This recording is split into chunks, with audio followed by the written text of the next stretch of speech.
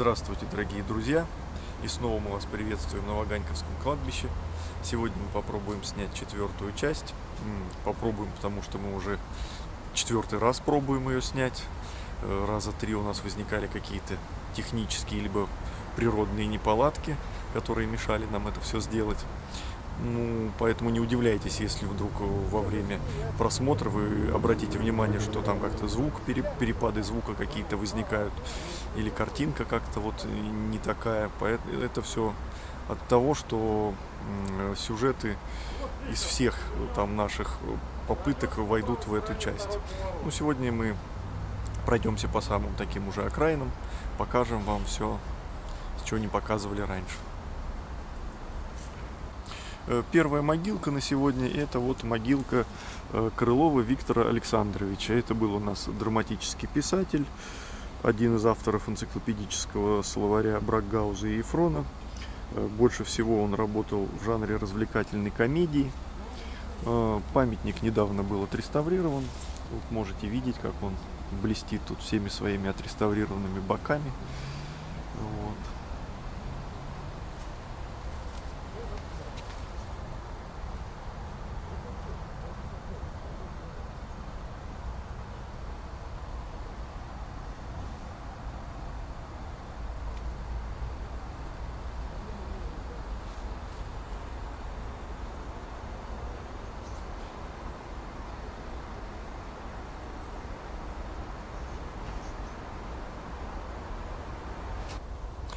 Дюбюк Александр Иванович. Это был российский пианист, композитор, музыкальный педагог. Отец у него сбежал из Франции от французской революции, был он маркиз, и вот сбежал, скрывался в России, как говорится. Вот. Эм, Александр Иванович написал много фортепианных пьес и этюдов. Особое внимание уделял русским песням и цыганским романсам. Раньше его романсы и песни можно было слышать из Э, всех увеселительных заведений по свидетельствам очевидцев. И сотрудничал с самыми известными певцами, в том числе и Шаляпин исполнял его песни. И до сих пор его песни исполняют очень хорошие исполнители.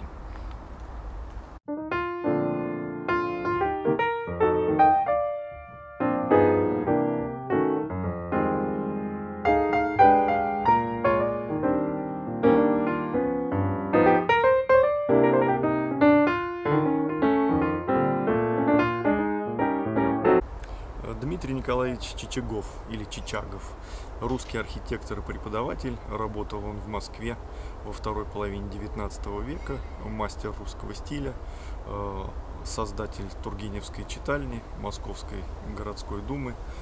Также он создавал храмы, школы, всякие различные общественные здания. Ну и в годы революции многие вот его здания были уничтожены.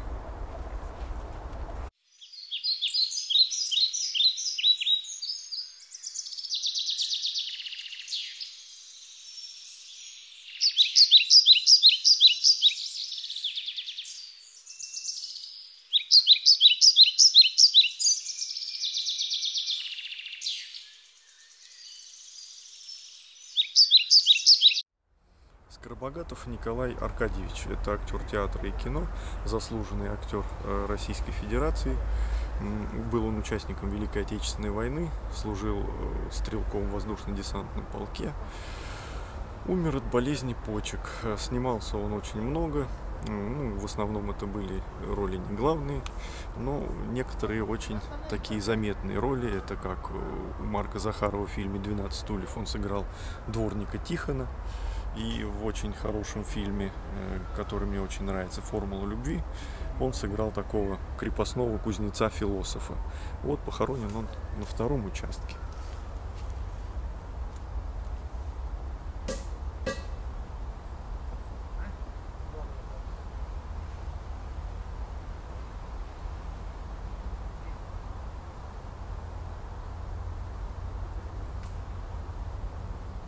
Следующая могила это Исаев Анатолий Константинович, э, футболист, спартаковец, чемпион Олимпийских игр 1956 года, неоднократный чемпион СССР, обладатель Кубка СССР, заслуженный мастер спорта СССР, заслуженный тренер РСФСР по футболу.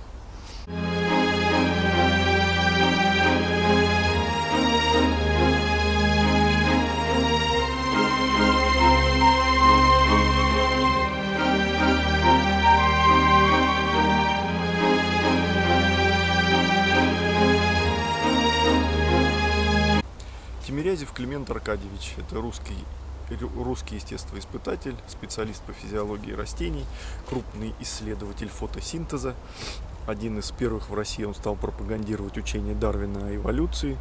Э, был он также популяризатором э, науки. В качестве этой вот своей ипостаси он писал книги, ну, биографии всяких различных великих ученых. Вот. Также он был заслуженным профессором Московского университета. Э, в честь него названа Московская сельскохозяйственная академия, также станция метро Тимирязевская, Серпуховской Тимирязевской же линии. Вот эта вот аллейка Ваганьковского кладбища, по которой мы тут ходим, она тоже называется Тимирязевская. Похоронен он на 13-м участке. Рядом с ним похоронена его жена и сын. Сын Аркадий Клементьевич, э, профессор физики Московского государственного университета. Тоже профессор.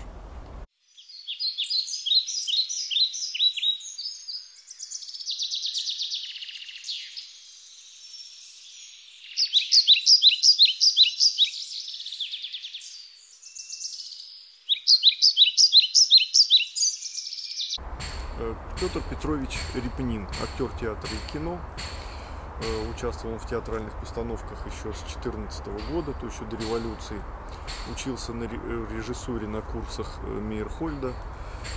С 1947 года он стал сниматься, не стал сниматься, а стал актером театра студии киноактера.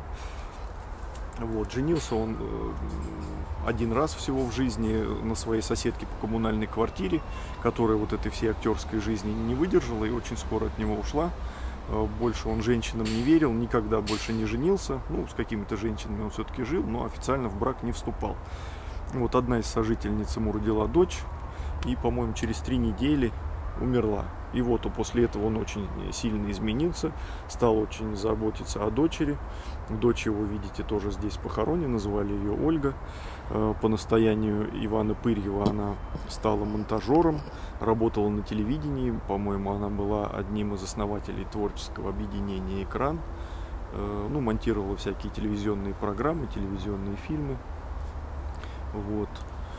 Э, снимался Петр Петрович Репнин в таких фильмах, как «Подкидыш», помните, да, он э, с Фаиной Раневской играл Мулю. Муля, не нервируй меня, вот Муля как раз это вот Петр Репнин был. Э, также фильмы были «Белый клык», э, в фильме «Кавказская пленница» он сыграл главного врача психиатрической лечебницы, куда Шурик попал. Снимался также в фильме «Щит и меч», длительное время жил в коммунальной квартире. Очень долго жил в коммунальной квартире.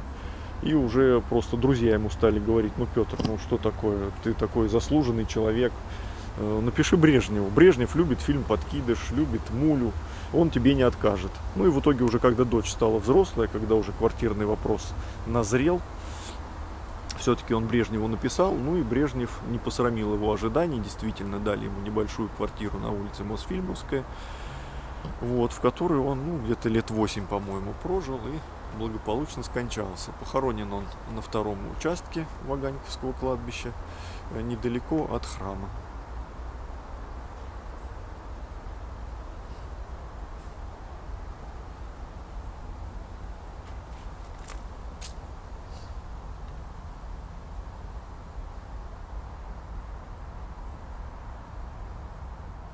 Гарри Яковлевич Гродберг, вот могилочка, органист, народный артист Российской Федерации, э, лауреат Государственной премии Российской Федерации. Кроме всего прочего, он также являлся почетным членом Баховского общества города Лейпцига и Генделевского общества Германии. Был он учредителем Э, фестиваля бахослужения в Калининграде, по-моему, и ежегодного баховского фестиваля в городе Тверь, ну, в связи с чем он был почетным гражданином города Тверь. Вот, покоится он тоже на втором участке Ваганьковского кладбища. Ну, мы с Вячеславом, конечно, не великие знатоки э, органной музыки. Но вот проходя мимо, увидели такой вот интересный памятничек. Нас он заинтересовал. Вот мы немножко посмотрели в источниках и вот рассказываем и показываем.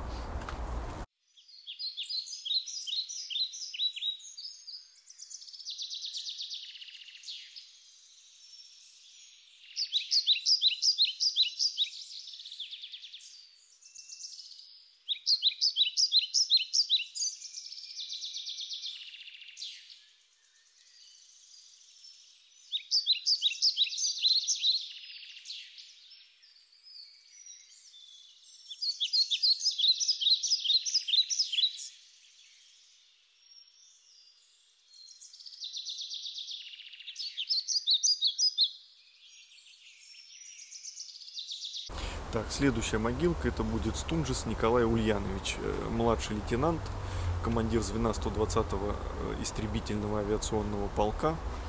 Ну, немножко информации про него мы почерпнули от его однополчанина Николая Николаевича Штучкина, который написал в свое время книгу «Грозное небо Москвы». И она в интернете есть, и там вот как раз про Николая Ульяновича Стунжеса немного написано. То, что это был единственный человек в полку, у которого было высшее образование. Э, до войны он работал на заводе начальником цеха.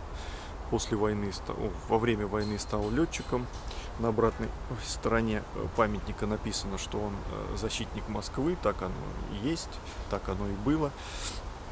Вот. Э, в одном из воздушных боев он сбил Юнкерс, как описывает Штучкин, что залетел какой-то там Юнкерс к ним, э, скорее всего, с разведывательной целью. Скорее всего, он не знал, что там э, аэродром есть. Потому что, он говорит, если бы он знал, ну, что кто бы стал летать на, над аэродромом с истребителями. Ну вот, были подняты самолеты в воздух.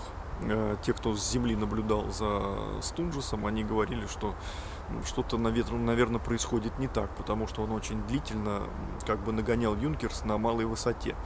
И потом в какой-то момент резко поднялся вверх, пристроился в хвост и немца сбил. Вот. Но, тем не менее, как бы недолго он провоевал. 29 октября 1941 года сам он на самолете МиГ-3 погиб в воздушном бою.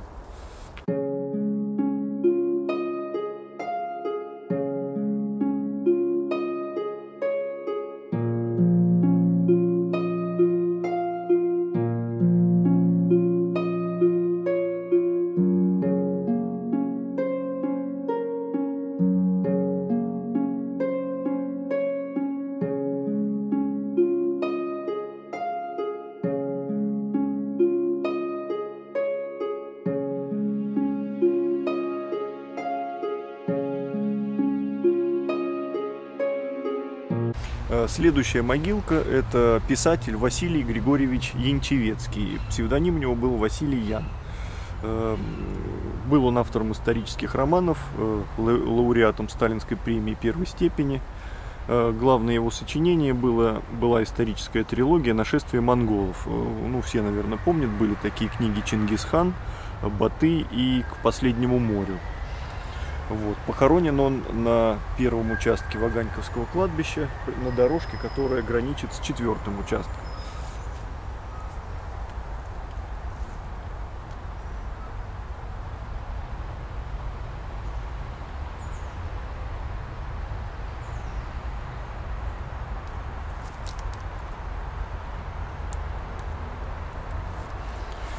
Что интересно, изначально Василий Ян был похоронен на армянском кладбище. А потом в какой-то момент почему-то решили его эксгумировать и, и перезахоронить на Ваганьковское кладбище. Ну, кто э, смо- смотрит наши ролики, знает, что армянское кладбище находится через дорогу от Ваганьковского. Поэтому в чем вот этот великий такой смысл был, чтобы перезахоронить человека через дорогу, я не знаю. Но, видимо, как- какая-то необходимость была в этом. Следующая могилка это такое совместное захоронение писатель Борис Львович Янглинг, прозаик, публицист, сценарист, э, драматург и военный журналист.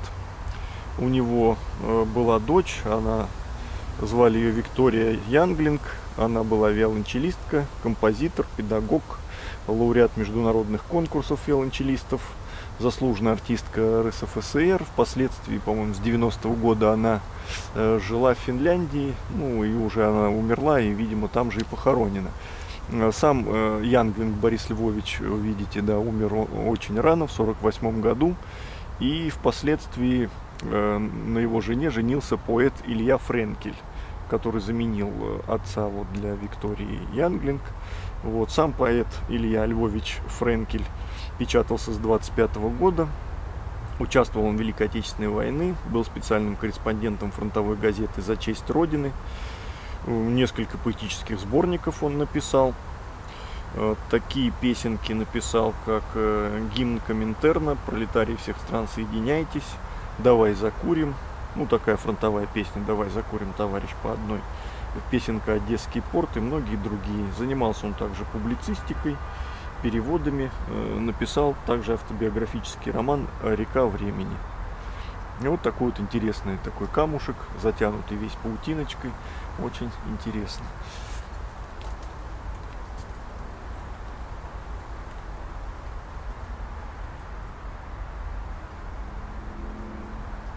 А, следующая могила – это Цейц Сергей Сергеевич, актер театра и кино, народный артист РСФСР.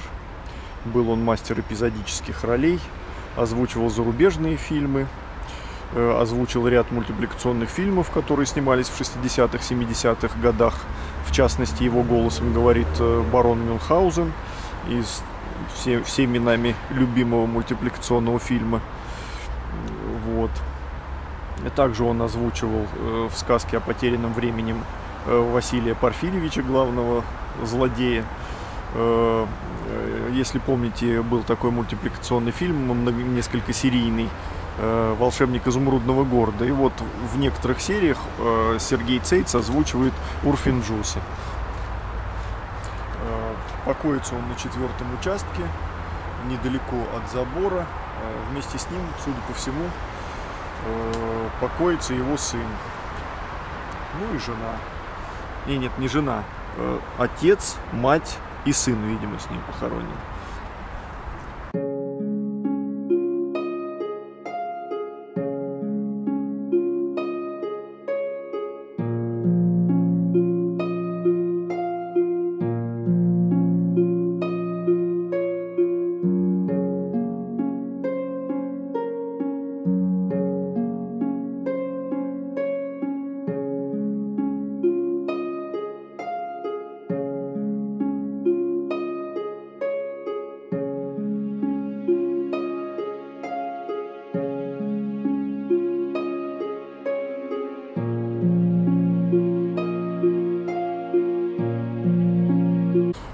Первом участке была нами обнаружена еще одна могилка воина, который погиб в Великой Отечественной войне.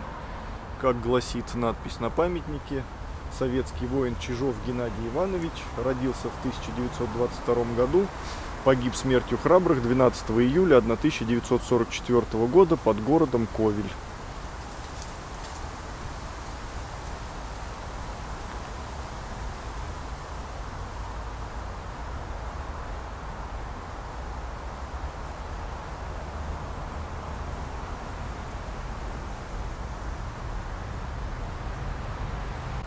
Вот еще одно такое э, захоронение. Профессор Первого Московского медицинского института Александр Михайлович Преображенский. Вот такой вот солидный памятник у него. Покоится он здесь вместе со своей супругой.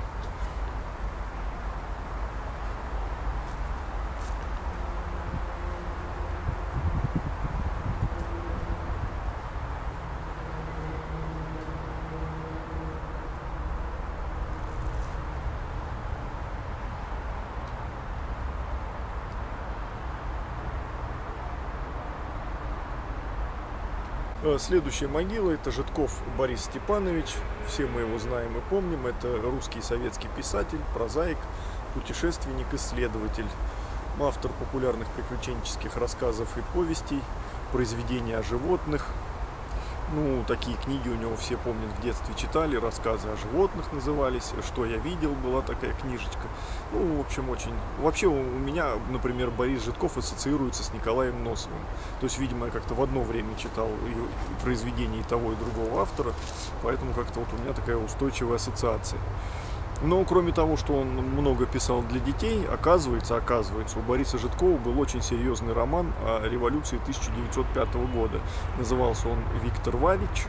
Э, и люди, которые вот его читали, современники, они считали, что это очень-очень такой серьезный роман, очень высокую оценку ему давали но как-то он был выпущен непонятно, как-то не, не в то время, не тем тиражом, не в том месте. И, в общем, очень многие люди про этот роман даже и не слышали. Например, Пастернак э, говорил, что он был удивлен тому, что вот когда он прочитал роман, ему захотелось как-то его обсудить с кем-то, и, говорит, и выяснилось, что никто совершенно этот роман не читал и даже не знает о его существовании.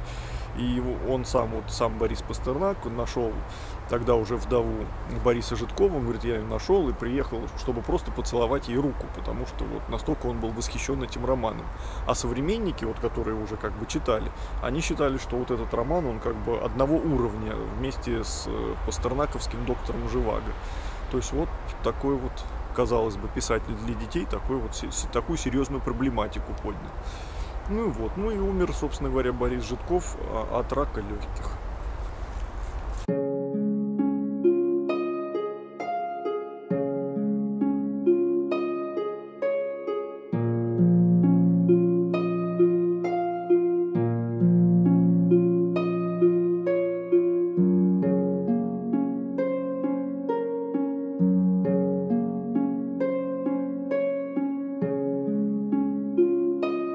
Опять же, вот на шестом участке нашли такой интересный надгробный памятник. Башенка такая с ангелами. Вот сейчас Вячеслав вам ее продемонстрирует.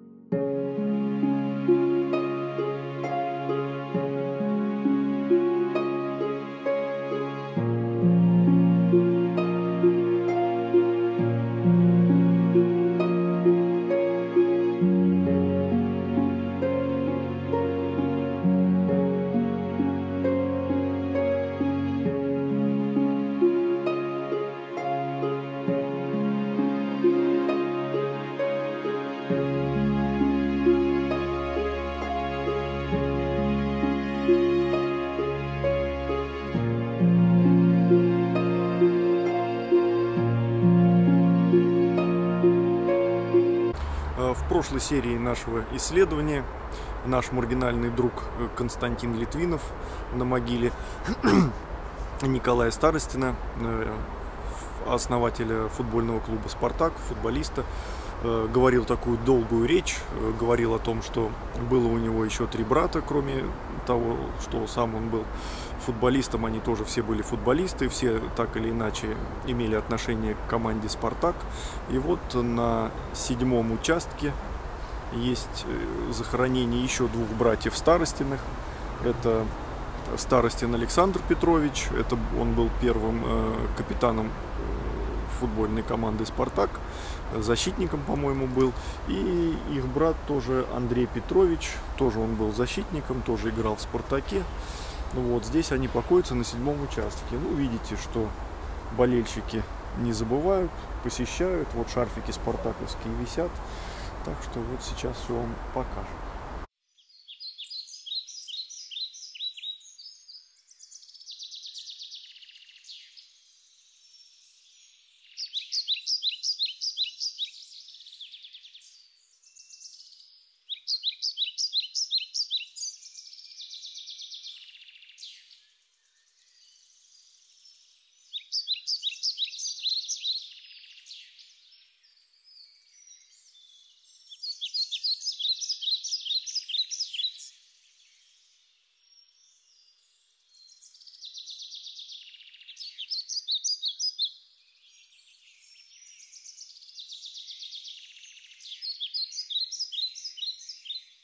Еще один воин, Бурых Владимир Иванович, политрук, погиб в августе 42 года. Но по данным сайта «Мемориал», младший политрук Бурых Владимир Иванович э, пропал без вести под Ростовом в июле 42 года. Поэтому тут у нас два варианта. Либо тела здесь нет, и просто здесь родственники сделали такую вот условную, условную могилку, чтобы было где помянуть. Э, либо на сайте мемориалка это уже недостоверная информация, потому что тут все-таки указано э, месяц гибели август, а на мемориале июль. То есть, ну, возможны разные варианты.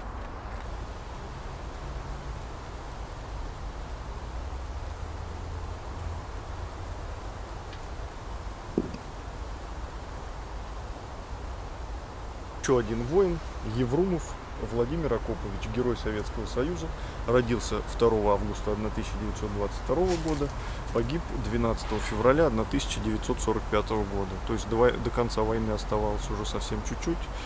Ну вот Владимиру Акоповичу дожить до этого дня не удалось.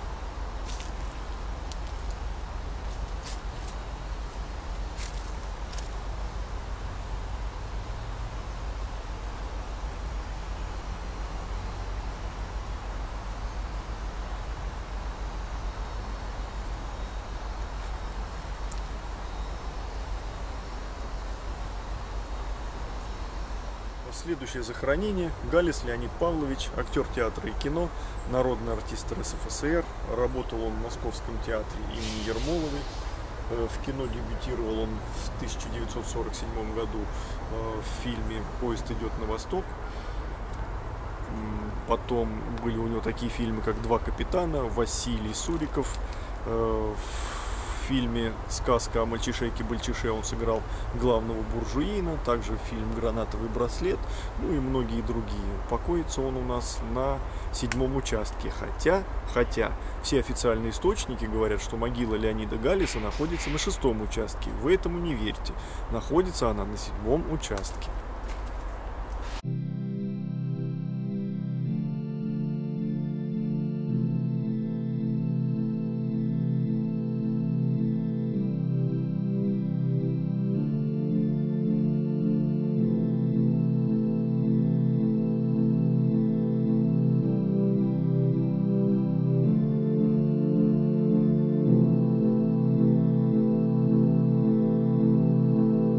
Небольшое вкрапление криминальных историй в наш сюжет.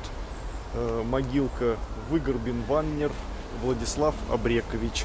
Это один из предводителей Бауманской преступной группировки. Э, с 17 января 1994 года, находясь в своем автомобиле, был расстрелян из автоматического оружия. Вместе с ним погиб и его телохранитель Глодин Михаил Владимирович.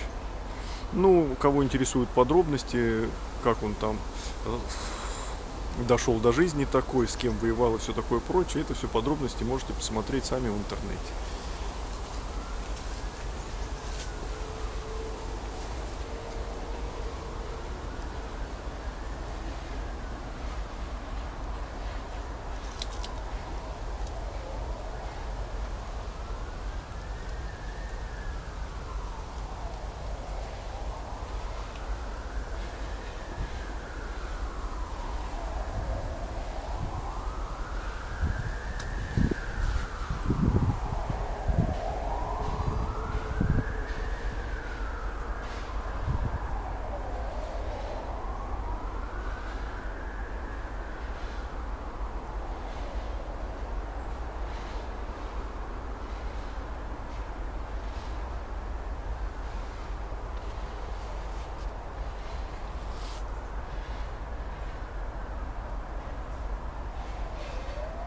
Слабневич Игорь Михайлович. Это заслуженный деятель искусств РСФСР.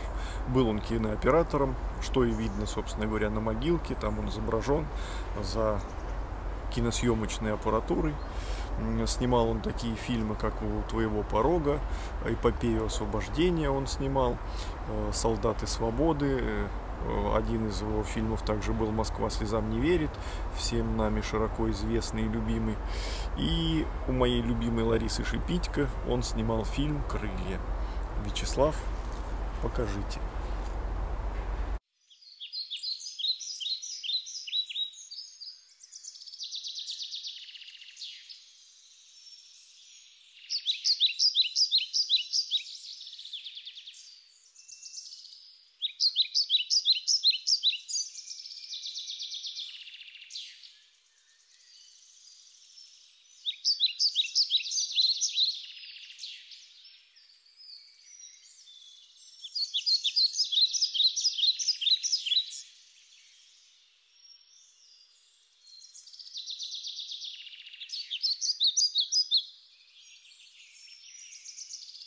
Еще один боец, Михеев Александр Николаевич, родился в 1960 году, погиб в 1981 году. Проявив геройство и мужество, погиб, выполняя интернациональный долг вдали от родины. Ну и вот такой вот стишок у него написан. Но той веселости прекрасной не требуя от меня напрасно. И юных гордых дней ты не вернешь, их нет.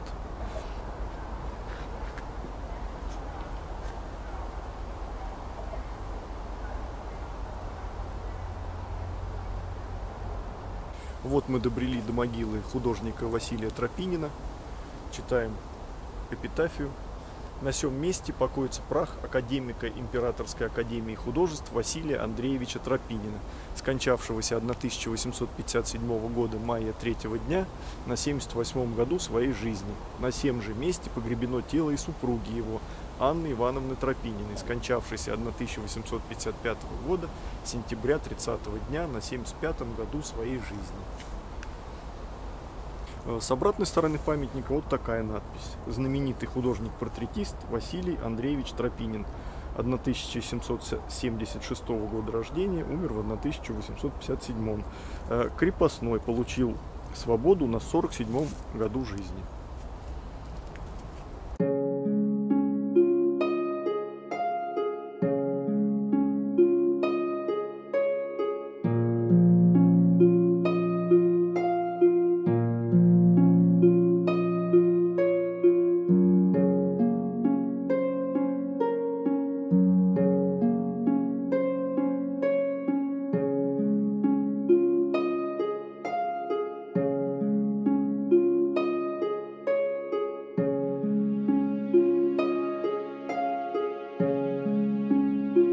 Следующая могила – это прекрасный артист театра и кино э, Григорий Данилович Пеньковский. Э, у него был псевдоним Георгий Светлани. Это очень хороший артист, очень мы его все хорошо знаем. Я уверен, что все мы его любим. Э, все порядочные, все уважающие себя режиссеры считали своим долгом его у себя снять. Он очень у многих снимался. Ну, правда, все это были роли небольшие, эпизодические или роли второго плана. Э, пожалуй, наверное, самая такая вот основная роль у него была в фильме э, «Спорт, спорт, спорт» у Елемы Климова он снимался. Очень любил его снимать также Леонид Гайдай. То есть он у него во, во многих комедиях снимался, тоже там вроде роли небольшие, эпизодики, но очень запоминающиеся. Например, там в фильме «Кавказская пленница» э, Григория Пеньковского, там Георгия Светлани, э, даже в титрах не, нет, э, эпизод очень всем запомнился. Но это когда возле пивной бочки трус, балбес и бывалый стоят, передают пиво, и вот пришел дедушка, ему кружка пива досталась. Пока он там пену сдувал, у нее ее отобрали. То есть вот, собственно говоря, говоря это был Георгий Светлани. Также в фильме «Бриллиантовая рука» вот он ходил, был членом Домкома, ходил за Ноной Мордюковой, такой в шапочке, э, соломенной в шляпе. Вот. А так вообще у него была очень интересная жизнь. Он э, родился еще до революции э, в бедной крестьянской семье. Потом отец его отдал э, в школу Юнг.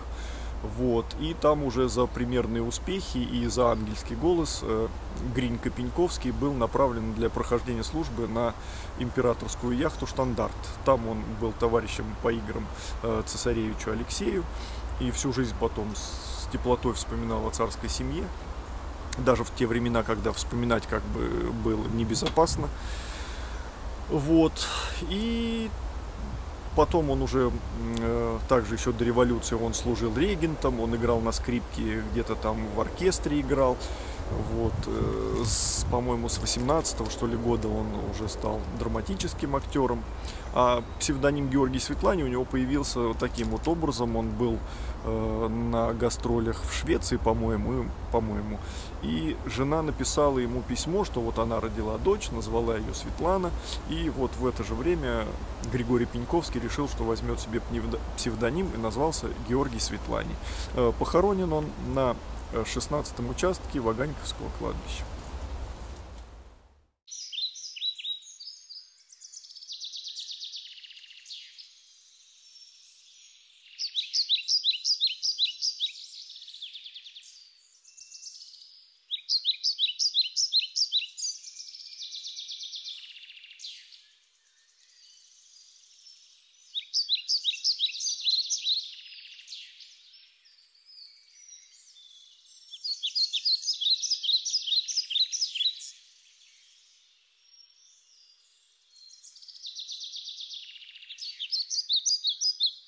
Лабас Александр Аркадьевич. Это был советский художник, представитель русского авангарда 20-30-х годов, э, член э, группы ОСТ. Группа ОСТ это было такое объединение художников, которые как бы расшифровывалось как объединение художников-станковиков, которые занимались тем, что воспевали советскую действительность, ну это индустриализация, какие-то советские спортивные достижения э, с использованием приемов современного европейского экспрессионизма.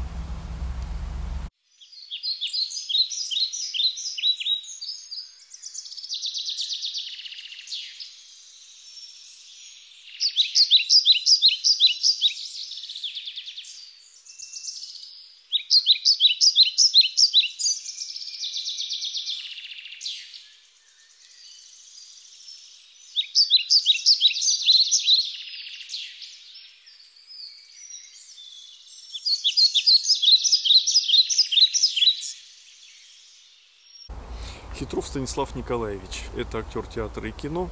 Э, закончил он э, в ГИК с отличием. Потом работал в театре студии киноактера. Э, прославился он после фильма «Девчата». Там он сыграл Филю Егорова. Если помните, Николай Рыбаков играл бригадира лесозаготовочной бригады, а Хитров играл бригадира конкурирующей бригады. Ходил он в шапке кубанки, на которую, собственно говоря, они и поспорили, то, что повариха Тося будет бегать за Рыбаковым как собачонка. Вот. Также он снимался в фильмах «После свадьбы», «Увольнение на берег», «Время вперед». Э, «Я родом из детства» был такой фильм. «Бег» по Булгакову, э, «Вечный зов», «Мертвые души» и многие другие. Скончался он от пневмонии, похоронен на 16 участке Ваганьковского кладбища, вот недалеко от тропиночки.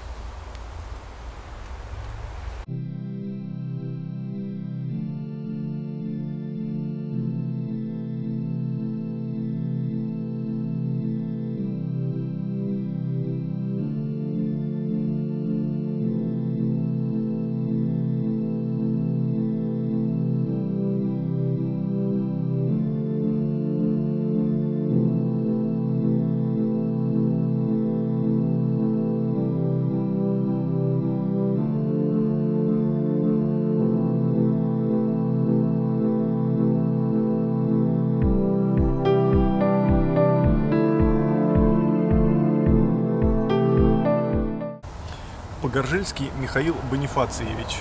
Это актер театра и кино, заслуженный артист э, РСФСР, э, участвовал в Великой Отечественной войны. Кстати, был он награжден Орденом Славы. Мы все знаем, что орденами славы раньше э, абы кого не награждали, то есть надо было прям что-то действительно героическое совершить. Вот, работал он в театре имени Моссовета, снимался в таких фильмах, как «Огненные версты», «Война и мир», там он сыграл Барклай де Толли в фильме «Щит и меч», э, «Два капитана», озвучивал мультипликационные фильмы. Похоронен вместе со своей женой. Это была у него жена Карташова Ирина Павловна, актриса, народная артистка РСФСР. Также она была участницей войны, работала она в госпиталях, потом с концертными бригадами ездила э, по фронтам. Вот. И 70 лет она также проработала в театре имени Моссовета.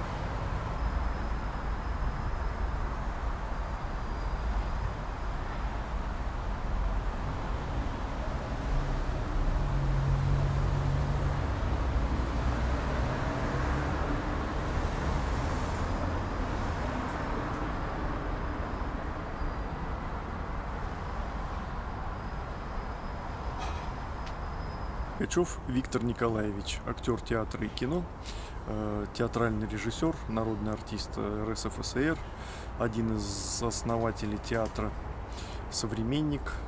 Впоследствии он работал в МХТ имени Чехова, снимался в таких фильмах, как «Скверный анекдот», «Три тополя на Плющихе», это «Веселая планета», там он играл э, капитана гуманоидов, помните, они такие с какими-то аквариумами на головах ходили и попали на празднование Нового года э, в Советский Союз. Также снимался он в фильмах «Пропавшая экспедиция», «Золотая речка», Михаил Ломоносов. В 93 году снялся в фильме «Троцкий». Ну, Троцкого сыграл, собственно. Также играл в фильме «Ермак». в сказочке, в такой, если помните, на Золотом крыльце сидели, он сыграл э, роль Кощея Бессмертного. Так, ну и умер он от разрыва аневризмы аорты в институте имени Склифосовского.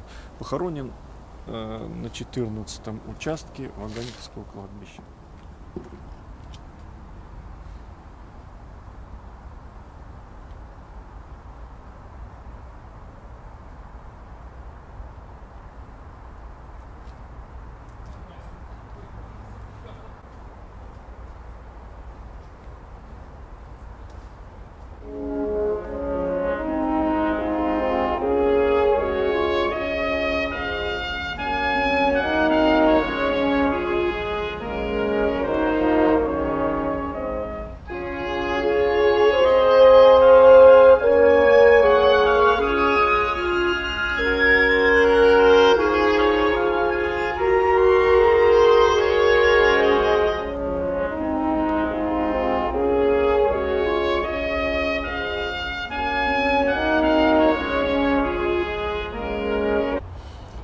Акуневская Татьяна Кирилловна. Это была актриса, заслуженная артистка РСФСР. Работала она в театре имени Ленинского комсомола. Э, снималась она в таких фильмах. Э, ну, она начала сниматься очень рано, еще в 1934 году она снялась в фильме «Пышка». Потом у нее были такие фильмы, как «Звезда пленительного счастья», «Возвращение резидента», «Крах операции резидент», последнюю роль она снялась, по-моему, в 2001 году. Был фильм такой «Сверчок за печкой». Ну, Наталья, Татьяна Кирилловна всю жизнь выглядела очень хорошо. Э, когда ей было где-то 85 лет, она даже решила сделать пластическую операцию. Но когда делали операцию, занесли ей гепатит.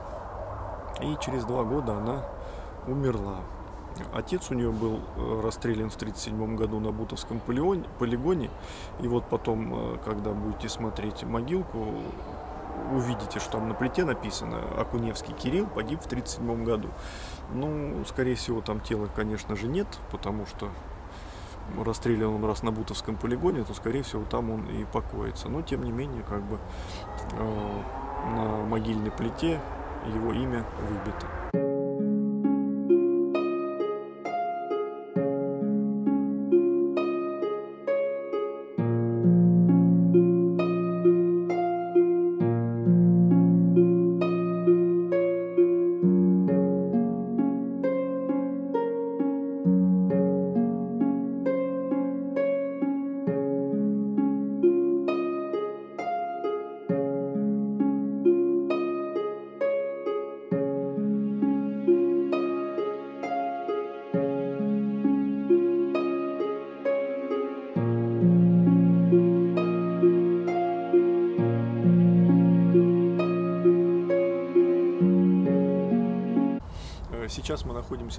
Могилке Александра Ивановича Левитова. Это был такой писатель.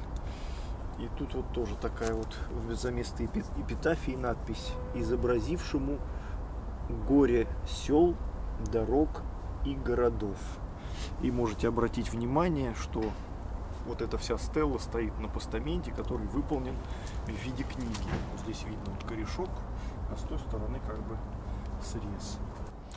Так, и с другой стороны памятничка написано «Погребен среди товарищей писателей М.А. Воронова и М.И. Орфанова». Миша.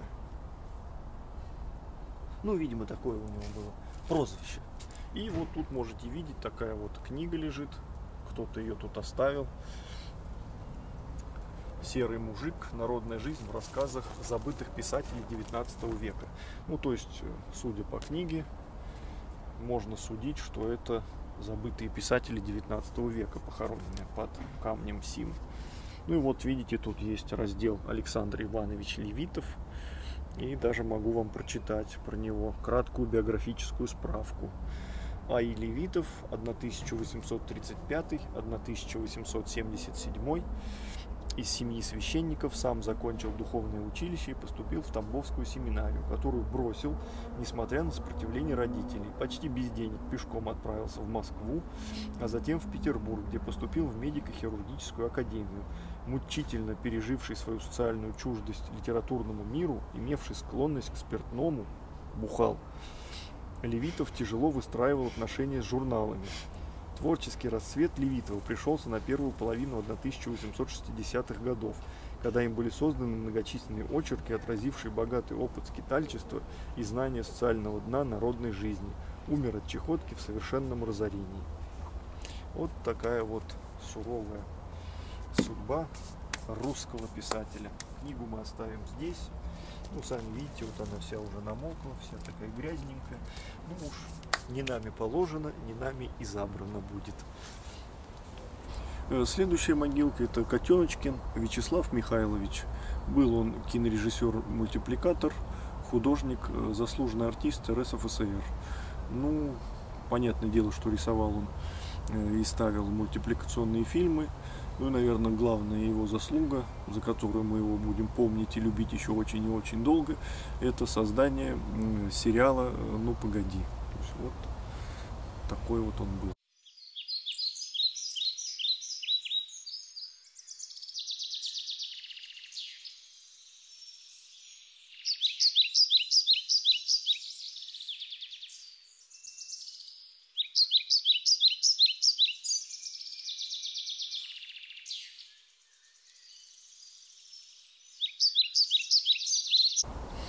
Шпаликов Геннадий Федорович, советский киносценарист, кинорежиссер, э, поэт. Учился он в Авгике. Во время учебы дружил э, с такими режиссерами, как Тарковский и Кончаловский. Человек он был очень талантливый, написал такие сценарии к таким фильмам, как «Застава Ильича», фильм «Ты и я», Э, «Долгая счастливая жизнь» был такой фильм, причем там же Шпаликов выступил и как режиссер. Это была единственная его режиссерская работа. В главной роли там снялась э, его жена на тот момент, Инна Гулая, а также Кирилл Лавров, молодой еще Кирилл Лавров. Вот. Также он сни... по его сценарию был снят фильм «Я родом из детства», «Я шагаю по Москве» Георгия Данелли, Э, во время съемки фильма «Я шагаю по Москве» э, Шпаликов э, придумал песню, ну, одноименную песню «Я шагаю по Москве» буквально на съемочной площадке. То есть и песенка оказалась достаточно такая успешная, всем она очень сильно и быстро полюбилась. Но были у него, конечно, и проблемы в жизни, потому что все вот эти фильмы, которые мы вот перечислили, почему-то советская киноиндустрия не очень-то их сильно стремилась выпускать на экраны, то совсем ложили на полки, то как-то очень долго они их не выпускали, то очень маленькими тиражами выпускали, что материального достатка, конечно, Геннадию Шпаликову не приносило, в связи с чем у него начались проблемы с алкоголем, в связи с этим уже начались проблемы в семейной жизни э, актрисы, вот его жена Инна Гулая, она от него ушла, и в результате все дело кончилось плохо, Геннадий Федорович Шпаликов повесился. Вот как вот можно посмотреть на памятничке 1 э, ноября 1974 года. И вот такая надпись снизу. Страна не пожалеет обо мне, но обо мне товарищи заплачут. Ну вот, э, частенько мы вам показываем различных бойцов, молодых ребят, которые погибли в различных э, войнах, в различных военных конфликтах. А вот сейчас, проходя мимо, мы вот нашли такое интересное захоронение. Три молодые девушки, написано «Пионер-вожатые». Тамара Куртова, Оля Емельянова, Надя Оболенская. Погибли 30 августа 1945 года. Ну, то есть уже после победы. Что там произошло, где они погибли, что это был за пионерский лагерь, мы не знаем. Но вот сейчас памятничек вам покажем.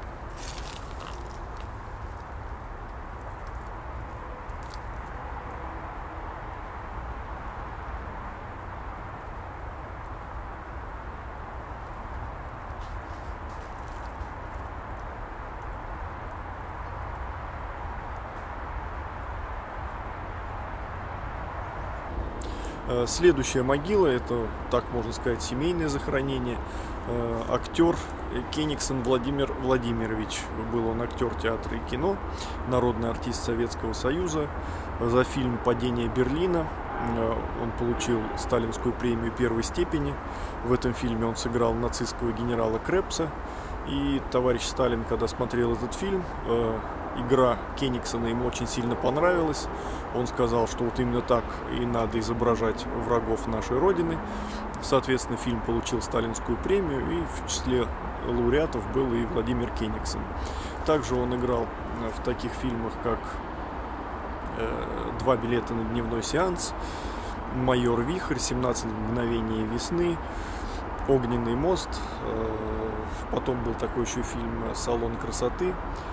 Кроме того, что он занимался актерской деятельностью, также он работал на радио, озвучивал мультипликационные фильмы и дублировал иностранные фильмы. И на этом же участке похоронен зять Владимира Кениксона. Вот это артист Алексей Сергеевич Айбаженко. Также он был актер театра и кино. Э, поменял он за свою жизнь несколько театров. Учился он в Щепкинском училище, потом э, работал в Воронежском драматическом театре, потом, по-моему, был Московский театр драмы и комедии, потом театр имени Маяковского, и потом уже с 1967 года он работал в Малом театре. Ну, собственно говоря, Владимир Кениксон тоже в Малом театре работал. Дебютировал Алексей Баженко в кино в 60-м году в фильме «Простая история». Э, потом были такие фильмы, как «Третий тайм». Это про матч смерти, который произошел э, в августе 42 года между киевским «Динамо» и фашистскими захватчиками. Э, также фильм «Бой после победы», вариант «Омега», «Время выбрало нас». Ну, наибольшую известность, пожалуй, ему принесла роль комиссара комиссара Данилова, по-моему, в фильме «На всю оставшуюся жизнь», э, режиссером которого был Николай Фоменко. Э, какой Николай? Петр Фоменко.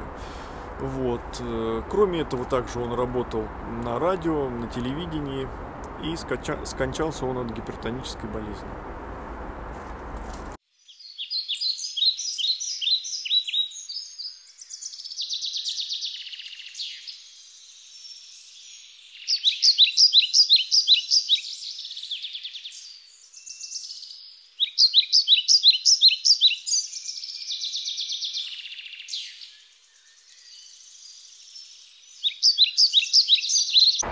Так, вот еще один мемориал мы с Вячеславом посетили.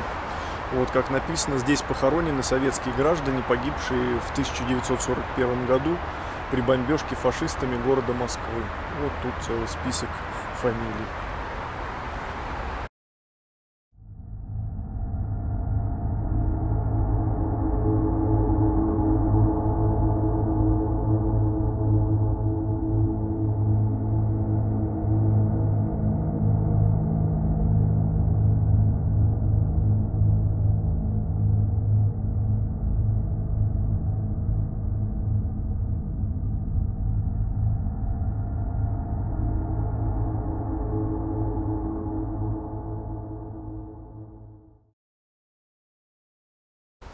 Следующая могила.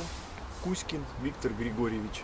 Заслуженный мастер спорта СССР, заслуженный тренер России, трехкратный чемпион Олимпийских игр, восьмикратный чемпион мира, семикратный чемпион Европы, тринадцатикратный чемпион Советского Союза, шестикратный обладатель Кубка Советского Союза. Ну, естественно, по хоккею клюшеч, клюшечка, шайба, шлем на могилке присутствует. Э, хочется еще сказать, что в районе 43-го участка э, есть такой вот наискось направленный указатель, на котором написано «К могиле спортсмена Кузькина». Мы с Вячеславом сначала не были в курсе событий, ну, решили, что это где-то в районе вот этого же участка. Походили, побродили, ничего не нашли. А оказывается, могила эта находится на 59-м участке, и надо пройти еще пол кладбища, чтобы к ней выйти. То есть этот указатель, он просто указывает куда-то вот на деревню дедушки.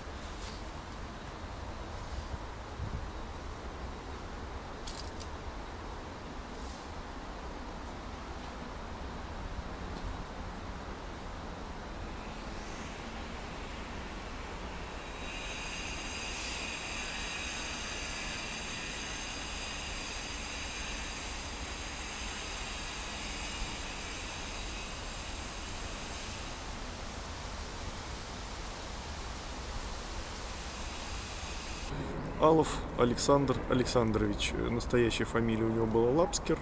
Это кинорежиссер, сценарист, э, педагог, э, народный артист Советского Союза, участник Великой Отечественной войны. Окончил он свое время в ГИК, э, впоследствии работал на киностудии имени Давженко, потом на Мосфильме, преподавал в Авгике, работал в театре «Современник», режиссер таких фильмов, как Тарас Шевченко, Павел Корчагин, «Скверный анекдот», «Бег» — это по пьесе Булгакова, Тегеран 43, Берег, э, Мир входящему был такой хороший фильм и другие. Также писал кинофильмом сценарии.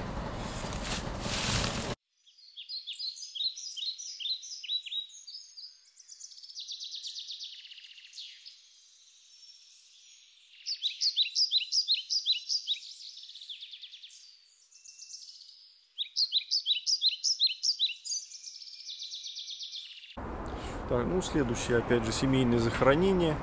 Актер Любезнов Иван Александрович, актер театра и кино, э, мастер художественного слова, народный артист Советского Союза, лауреат Сталинской премии второй степени. Э, снимался он в таких фильмах, как «В 6 часов вечера после войны», «Встреча на Эльбе», «Солдаты свободы». В этом фильме он сыграл маршала Толбухина. «Летучая мышь» был такой фильм, «Водевиль» помните. Там он сыграл дежурного тюремщика. Вот. Первая жена Ивана Любезного, это была Марина Ладынина, известная советская актриса, которая впоследствии ушла от него к режиссеру Ивану Пырьеву. Ну, Иван Любезнов как-то недолго горевал и женился на младшей сестре Марины Ладыниной. Это, это была Валентина э, Алексеевна, Спокоится она теперь вместе со своим мужем. У Ивана Любезного и его жены Валентины э, родился сын Михаил. Э, сын Михаил тоже был актером, но снимался он не очень много, потому что параллельно работал еще в Министерстве культуры, и там как-то вот э, чиновники от министерства, видимо, не очень любили, чтобы их сотрудники снимались в фильмах. Э, ну, самая, наверное, его такая запоминающаяся роль в фильме «Здравствуйте, я ваша тетя», он сыграл Чарли, ну, такого парня в очках, в кепочке, э, все помнят. Вот. Ну и в связи с такой вот творческой невостребованностью э, Михаил Любезнов пристрастился к алкоголю, стал выпивать, и окончилась у него жизнь как-то вот при каких-то непонятных обстоятельствах загадочных. Э, то есть, ну, одно остается однозначно. Он принял какие-то таблетки, в результате чего он как бы и умер. Но, опять же, возникли две версии. По одной версии люди говорят, что он совершил самоубийство. По другой версии, как бы говорят, что никакого самоубийства не было, просто он от алкогольной зависимости. Ну и приобрел какие-то препараты, которые необходимы для этого. Ну, то ли он там дозировку не так рассчитал, то ли не знал, как их принимать и принял их неправильно. Ну, в общем, факт остается фактом. Он принял какие-то таблетки, в результате он двое суток не могли его добудиться, и в конечном итоге он все-таки умер. Вот. У Михаила Ивановича Любезного тоже был сын, которого он назвал в честь своего отца Иван, Иван Михайлович. И официальные источники говорят о том, что вот этот самый Иван Михайлович, он в 90-е годы пропал без вести. Вот такая вот информация. Но сами посмотрите, на могилке стоит крест Любезнов Иван Михайлович – родился в 76 году, умер в 2016 году. То есть как бы уже далеко не 90-е годы. Значит, как-то информация все-таки поменялась. Получается, что э, Иван э, Михайлович Любезнов как-то все-таки обнаружился. Но тоже умер он в достаточно молодом возрасте. Где-то даже 40 лет ему не было. 39 лет полных. И упокоен он вместе со своими родителями со своими бабушкой с дедушкой вот на 56-м участке Ваганьковского кладбища.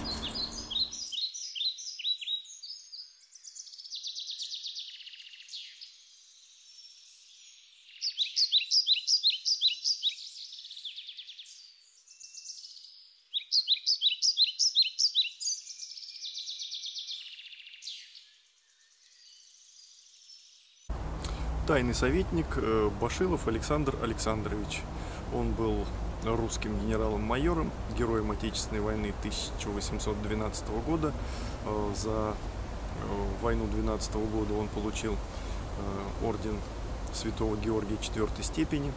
Одно время состоял в должности директора комиссии строений в Москве. В его честь названа одна из улиц в Москве, ну, соответственно, Башиловская улица. Сын у него, Александр Александрович же Башилов, был поэтом и дружил с Пушкиным.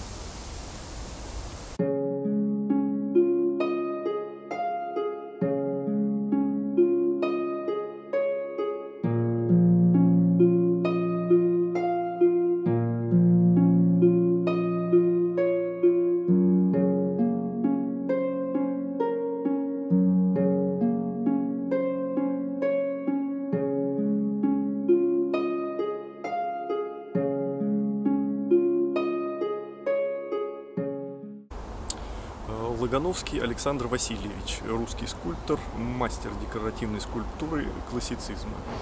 Э, он, в частности, знаменит тем, что был автором горельефов э, храма Христа Спасителя, ну, еще того храма, который был разрушен в 30-е годы.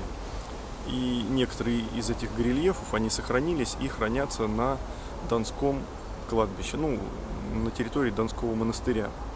У нас на канале Г85 есть сюжет, который называется «Старое Донское кладбище».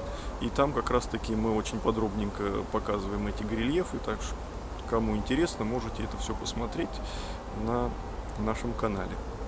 Вот, собственно говоря, вот такой большой у него памятник.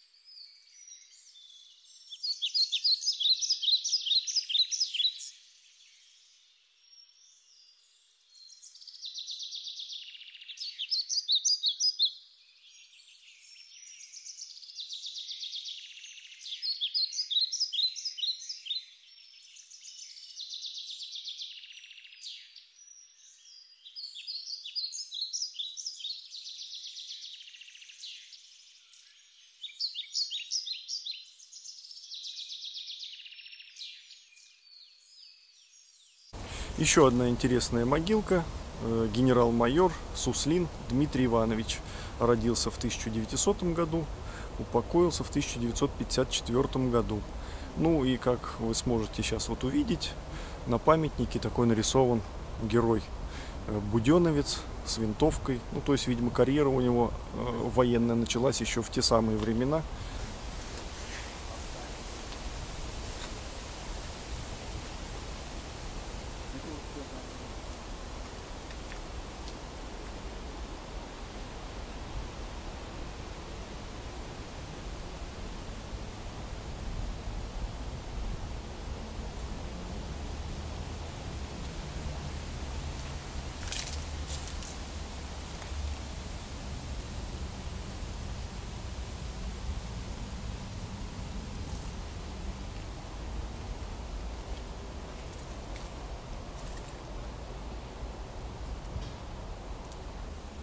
Недалеко от Колумбария вот обнаружилась такая вот интересная башенка.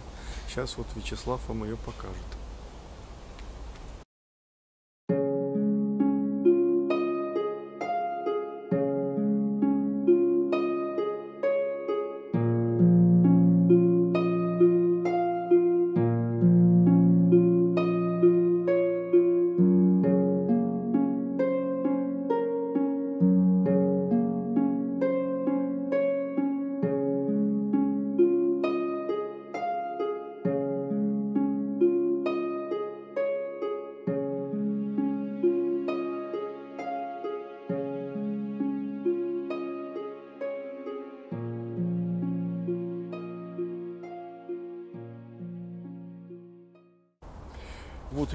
Интересный памятник мы нашли.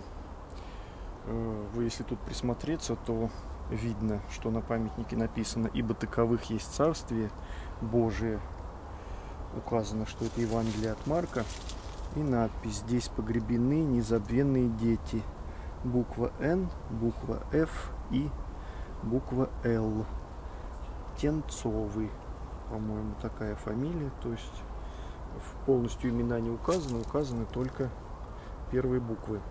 Фамилия Тенцовый. Чем интересен этот памятник, чем он привлек мое внимание, это тем, что, как правило, на кладбищах мы в виде надгробий видим кресты, которые изображают распятие Христа, э, ну, либо там воскресение его, вознесение Христа. А здесь на памятнике изображены э, страсти Христовы, причем начало страстей Христовых.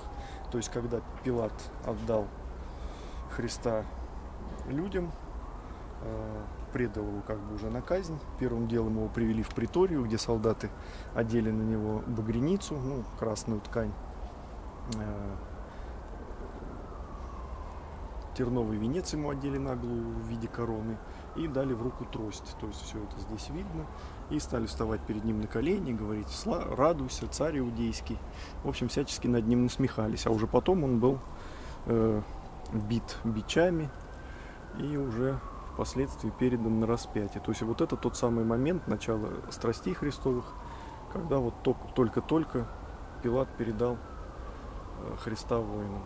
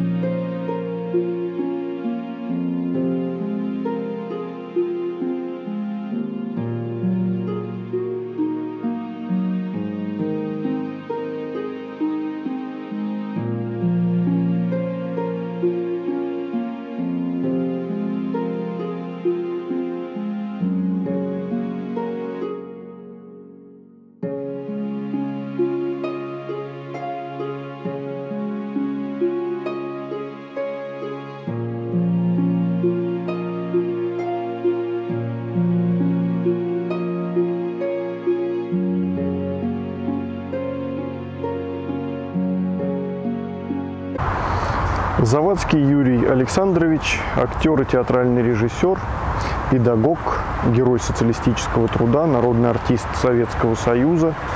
Э, был он лауреатом Ленинской премии и даже, по-моему, двух сталинских премий.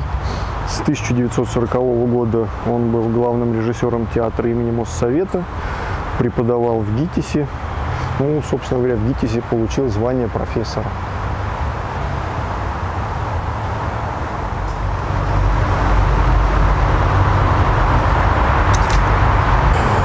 Шехтель Федор Осипович, русский архитектор, живописец, сценограф, один из наиболее ярких представителей стиля модерн в русском и европейском зодчестве. Кстати, на Новодевичьем кладбище оградку на могиле Чехова как раз-таки вот э, сделал Федор Осипович Шехтель. Ну, по его проекту ее сделали. Ну, вы видите, у семейства Шехтель тут такое большое семейное захоронение, решетки, оградки. И что можно еще сказать, э, внуком Федора Осиповича Шехтеля был э, Вадим Танков. Вадим Сергеевич Танков. Это был артист эстрады, заслуженный артист Российской Федерации. Э, если вы помните, такой дуэт был Вот сейчас новые русские бабки, а тогда была Вера, Вероника Маврикиевна и Авдотья Никитишна. Ну вот э, Танков э, Вадим Сергеевич как раз-таки исполнял роль Вероники Маврикиевны. Также он был автором стихов, афоризмов и различных частушек.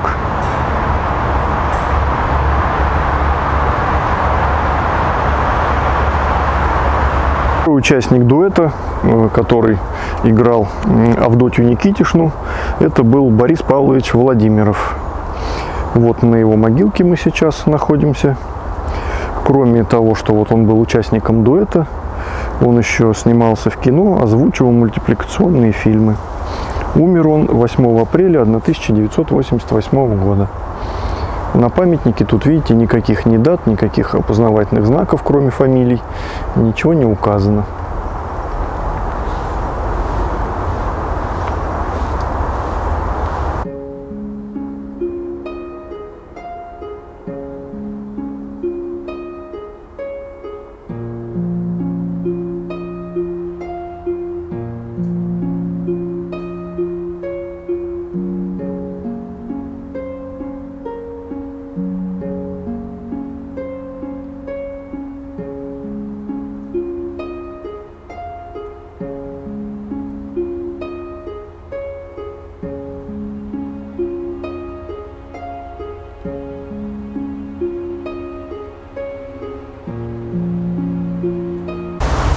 Шатров Игорь Владимирович. Это был кинооператор, режиссер, сценарист, заслуженный деятель искусств РСФСР. Он окончил операторский курс в ГИКа, работал на киностудии имени Горького. Э, в Авгике же он потом преподавал операторское мастерство, Э, снял такие фильмы, как «Море студенное», «Добровольцы», «Синяя тетрадь» и многие другие. В качестве режиссера поставил фильм э, «И это все о нем». Помните, да? Евгений Леонов там следователя играл. Э, похоронен он на 17-м участке. В, рядом с ним похоронена его тетушка Елена Митрофановна Шатрова, актриса, народная артистка СССР. Э, была она лауреатом двух сталинских премий первой степени. Работала в Малом театре, на телевидении, на радио, снималась в кино. Ну, это такие уже старые были фильмы, такие как «Ленин в октябре», «Застава в горах» и другие.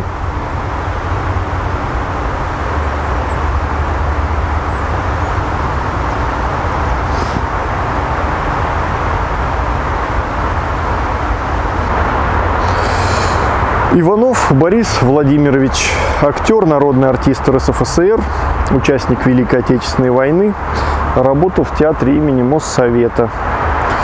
Э, снимался в таких фильмах, как «Гусарская баллада», «Конец атамана», «Чисто английское убийство», «Бешеное золото». В фильме «Россия молодая» он играл, в фильме «Возвращение резидента». Вспоминается мне также фильм «Мираж», если помните, был телевизионный фильм скольки-то там серийный по мотивам рассказов э, Джеймса Че, Чейза, да, э, как какая-то там группа товарищей организовалась и угнала бронь, бронеавтомобиль с деньгами. Ну и все для них как-то кончилось плохо, все-таки их раскрыли, и все погибли, собственно говоря. Ну, фильм был интересен тем, что я его смотрел в каком-то подростковом возрасте, даже в раннем подростковом возрасте. И он мне понравился, как-то показался необычным, потому что, ну, раньше показывали фильмы, вот хорошие ребята, вот плохие, хорошие победили плохих, ну и, и хорошо. А тут как бы они герои-то отрицательные, были вот эти грабители, но почему-то жалко было именно их, а не каких-то там вот этих полицейских, которые их искали, не мальчика, который на них донес, а вот жалко было почему-то именно вот этих вот грабителей. И вот Борис Иванов там сыграл такого взломщика по имени Джиппо, и в какой-то момент он от своих товарищей решил убежать, ну, убежал недалеко, в процессе побега его укусила змея, и после чего он, собственно говоря, умер. Вот. Также он снимался в фильме «Не ходите девки замуж», «Вечный зов», раз на раз не приходится. И, кроме всего прочего, э, Борис Иванов был одним из ветеранов отечественного дубляжа.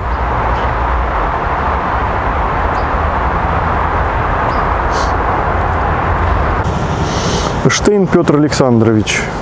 Это был он э, сын драматурга Александра Петровича Штейна, который похоронен здесь же. Петр Александрович окончил ГИТИС на курсе Эфроса. Ставил спектакли в театре имени Моссовета в московском ТЮЗе с 77 по 95, по-моему. Был он режиссером Московского театра имени Ленинского комсомола. Как кинорежиссер снимал сериалы, такие как «Бедная Настя», «Зона» и другие.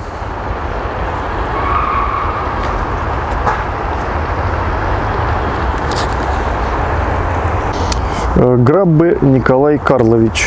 Это был киноактер, очень известный, хотя, опять же, снимался он только в основном э, в эпизодических ролях, в ролях второго плана. В 1943 году он окончил в ГИК, работал на киностудии «Союз мультфильм». С 1967 года, по-моему, работал в театре студии киноактера. Э, ну и в том же, вот окончил он в ГИК в 43 году, и в 43 же году он дебютировал в кино в фильме «Мы с Урала». Вот. Также он играл у Шукшина э, в дипломной работе, по-моему, как там она называлась, из Лебяжьего сообщают, он сыграл э, роль. Также у Шукшина играл в фильме «Ваш сын и брат». В последнем фильме Шукшина «Калина красная» он играл начальника колонии, такой небольшой эпизод у него был. Также играл в таких фильмах, как «Ошибка резидента», «Адъютант его превосходительства». У Тарковского сыграл в фильме Андрей Рублев «Сотника», который, э, если помните, зодчих там каких-то или монахов ослепил по приказу князя, ну, чтобы они брату ничего там церковь не построили. Также играл он в фильме «Большая перемена». В фильме «Афоня» он играл начальника ЖЭКа. После собрания, когда Афоню разжаловали, он к нему приходил домой. Ну и типа вел с ним беседы душеспасительные. Последняя роль его была в фильме «Возвращение резидента», по-моему. Вот. Ну и еще, можно сказать, снимался он, э, хорошая роль у него была у Ларисы Шипитько в фильме «Крылья».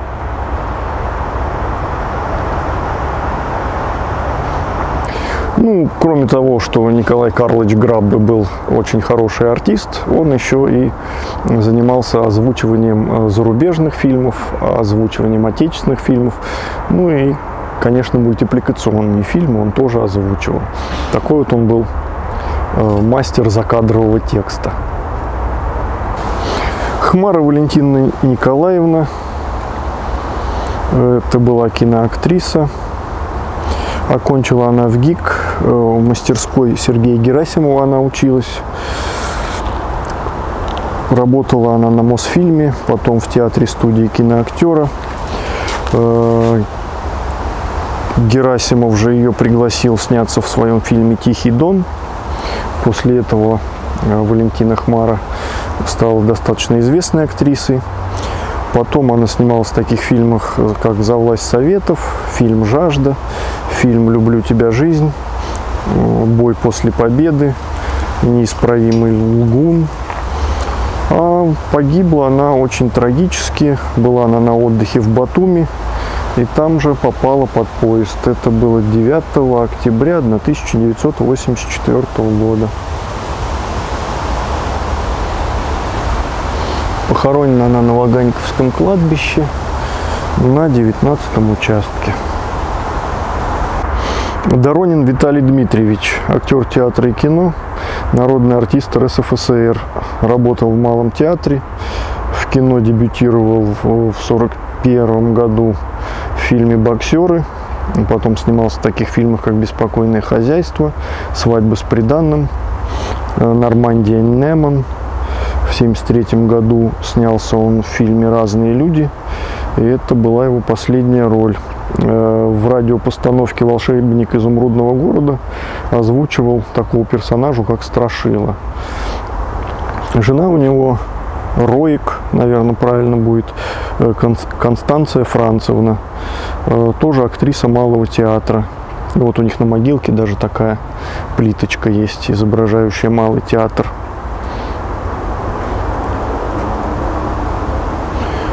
Ну, была у них также еще дочь Доронина Елена. Тоже она была актриса театра и кино, так же, как и родители, работала в Малом театре. Ну, она уже тоже умерла, похоронена она на Троекуровском кладбище.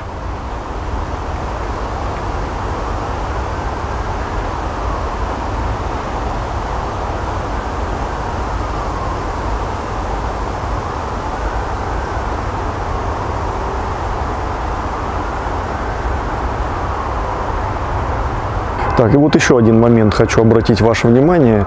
Э, Николай Карлович Граббе и супруги Доронин и Роик э, в интернете, когда мы искали вот их могилы, везде указано то, что они все похоронены на 19 участке, э, что опять же не соответствует действительности, потому что и Николай Граббе, и Виталий Доронин с супругой, они похоронены на 17 участке. Поэтому, если вдруг неожиданно кто-то захочет могилки найти, помните, участок номер 17.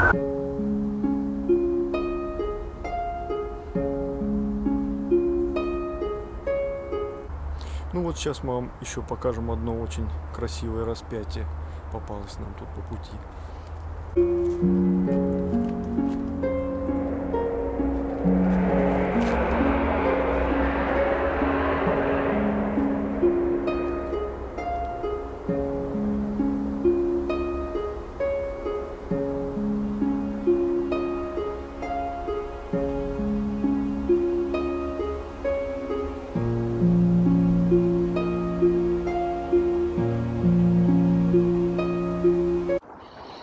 Шевцов Георгий Львович. Это был актер театра и кино, народный артист РСФСР. Э, работал он в Амхате, а когда Амхат разделился, перешел в Амхат имени Горького. Э, снимался в таких фильмах, как «Царская невеста», «Майор Вихрь», «Город под липами», «17 мгновений весны» и другие. Похоронен на 20-м участке.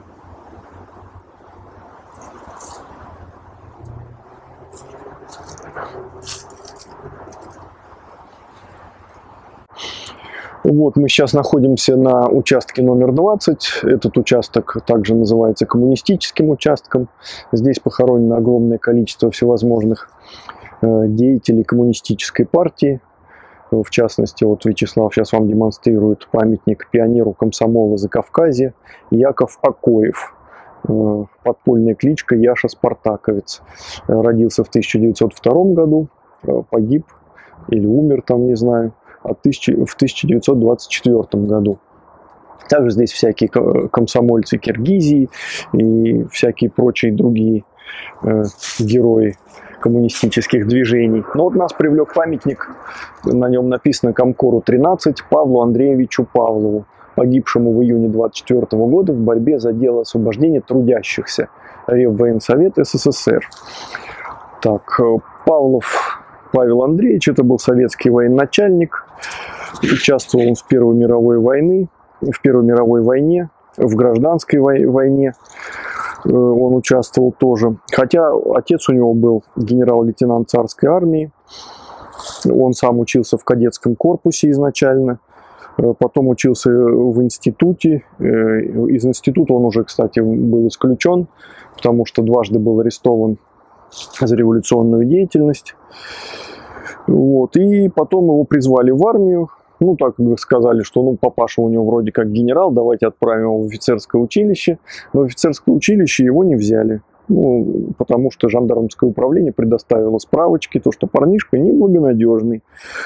Вот. Когда Первая мировая война началась, он ее уже встретил э, в чине прапорщика, потому что закончил школу прапорщиков, и так как это раньше было офицерское звание, то закончил он э, воевать в чине штабс-капитана э, в чине штабс-капитана. Трижды ранен он был в Первой э, мировой войне. После революции, естественно, он влился в революционное движение, участвовал там во всех битвах, там, я не знаю, просто если почитать его описание, жизнеописание, то он на, на всех фронтах воевал просто со всем, с кем только можно воевать, и с беляками, и с какими-то белополяками, и с бандитами, и с врангелевцами, ну, то есть вот у меня, знаете, сразу возникла какая-то живая ассоциация с фильмом «Офицеры». То есть тоже такой неугомонный парень, который вот, вот везде поучаствовал. И вот как раз в 24 году он был направлен в Китай, чтобы помочь китайским товарищам, в частности товарищу Сунь Яцену, э, усилить э, армию. Там он работал главным военным советником э, под фамилией Говоров. И вот там-то и случилась с ним вот эта вот трагическая гибель. При переправе через реку Дунцзян он оступился при переходе с катера на паром и утонул. То есть вот так вот человек воевал, воевал, там несколько раз был ранен, а погиб вот так вот нелепым образом, оступился и утонул. Урну с прахом китайские товарищи переправили э, в Москву, где она была с почетом захоронена на коммунистическом участке. Ну, что хочется вам сказать по поводу коммунистического участка? Я так думаю, что раньше это было очень престижно. Коммунистический участок, все такое. Э, но сейчас этот участок, я вам хочу сказать, в полнейшем упадке. И вы сами можете наблюдать, что вот могила Комкора, она тут вся какими-то уже ветками перегорожена, какими-то там, не знаю, сухими листьями засыпана. То есть абсолютно никакого уважения и пиетета уже здесь он не испытывает. И как мне сказал Вячеслав, надо Зюганову написать, чтобы он разобрался, что это героев коммунистической партии так в таком небрежении сохраняют. Фатьянов Алексей Иванович – это советский поэт, автор многих песен, популярных в 40-х, 70-х годах, участник Великой Отечественной войны, ну, он участвовал в ансамбле песни и пляски, но при всем при этом был дважды ранен в течение Великой Отечественной войны. Является он автором стихов таких песен, как «Соловьи». Ну, помните, да, вот тут у него даже на памятнике строка из этой песни э, выбита.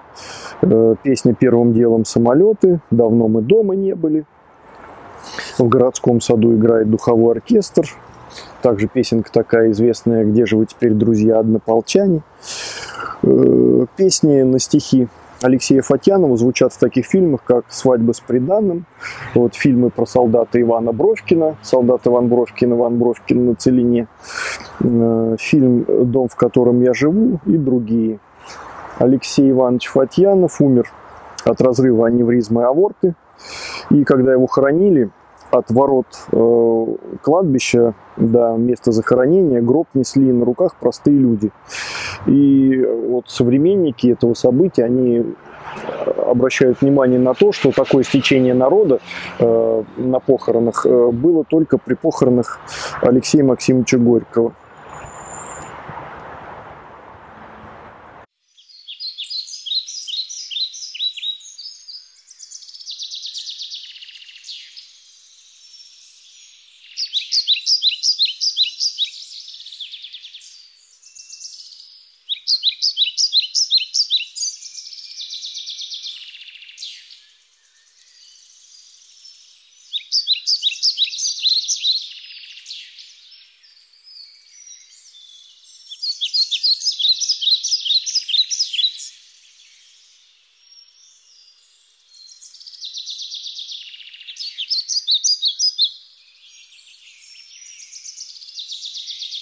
Э, следующая могилка, которую мы вам покажем, это будет могилка Владимира Валентиновича Уан Золи. Был такой советский артист цирка, киноактер, участвовал в Великой Отечественной войне. Ну, всю войну выступал э, в, в этих, во фронтовых концертных бригадах, э, в том числе с Лидией Руслановой он выступал. После войны он работал в Москонцерте, Вместе с ним тут же похоронен сын Александр Владимирович Уанзоли. Ну, он э, по отцовским стопам не пошел, стал он саксофонистом. Вот, в кино Владимир Валентинович играл всевозможных китайцев, ну, по национальности он китаец был. Вот, японцев, монголов, ну, всевозможных азиатов, в общем. В основном это были отрицательные роли, ну, но не обязательно. Э, в фильме «Джентльмены удачи» он играл начальника колонии. Потом также были такие фильмы, как «Приказ перейти границу», э, «Сердца трех», в фильме «Ермак» он тоже играл каких-то там местных сибиряков. В фильме Сергей Лазо он играл японского генерала. Ну, в общем, такой достаточно интересный, известный актер. Фотокарточку мы вам покажем. А может вы ее уже и видите. Ну вот, дорогие друзья, пришли мы на еще одно такое семейное захоронение. Это братья Рунге, оба достаточно известных людей. Первый брат – это Борис Васильевич, советский актер театра и кино, народный артист РСФСР – в 1936 году в 11-летнем возрасте он впервые снялся в фильме «Белеет парус одинокий». Также, пока учился в школе, еще он снялся в нескольких э, фильмах. Э, во время Великой Отечественной войны он был младшим лейтенантом, то есть воевал он. Э, потом учился в ГИТИСе, работал в Московском театре сатиры, Э, если помните, был такой юмористическая такая программа «Кабачок 13 стульев». Там он играл пана профессора. Вот после этого он организовал дуэт э, с Ольгой Аросевой. Снимался в таких фильмах, как «Как закалялась сталь», «Свадьба с приданым», «Берегись автомобиля», «Старики-разбойники» и другие. Также озвучивал мультипликационные фильмы. Так, второй брат это Святослав Васильевич. Э, имя при рождении у него было Сакко. Он был писателем и кинодраматургом. Окончил литературный институт имени Горького. Э, написал он э, несколько сценариев к различным документальным и мультипликационным фильмам. В мультипликации он работал чаще всего с Борисом Дежкиным в 1975 году с Алексеем Куммой написал книгу «Вторая тайна золотого ключика». Ну, если кто-то читал, я эту книгу читал в детстве, но у меня совершенно никаких мыслей по этому поводу не, не сохранилось. По-моему, она мне как-то вот совершенно не понравилась, ничего я в ней не запомнил. Но, тем не менее, такая вот книга была. Э, также вот с Алексеем Куммой он э, работал над сценариями мультфильмов такие мультфильмы, как «Шайбу-шайбу», «Чьи в лесу шишки», «Матч-реванш», «Метеор на ринге», э, в гостях у лета, приходи на каток и многие другие. Ну, то есть мультфильмы такие, знаете, более э, спортивная такая тематика в мультфильмах была. Авдюшка Виктор Антонович. Это актер театра и кино, народный артист РСФСР. Э, закончил он в ГИК, после работал актером на киностудии Мосфильм. Э, в кино стал сниматься с 1948 года. Э, самая его крупная роль была в фильме «Мир входящему». Также он снимался в таких фильмах, как «Молодая гвардия», «Кубанские казаки», «Дорога», «Живые и мертвые», в кинокомедии «33», в фильме «Освобождение», «Солдаты свободы». В «Солдатах свободы» он сыграл маршала Конева. Также еще э, такой вот интересный факт про Виктора Авдюшка. Э, его дочь от третьего брака Варвара является женой известного режиссера Тимура Бекмамбетова.